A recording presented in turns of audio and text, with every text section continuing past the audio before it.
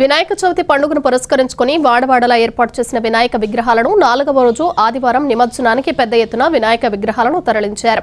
నిమజ్జనానికి తరలుతున్న గణనాథులు ముందు మహిళలు యువత పెద్ద సంఖ్యలో పాల్గొని తీన్మార్ డప్పులతో గులాములు చల్లుకుంటూ నృత్యాలు చేశారు.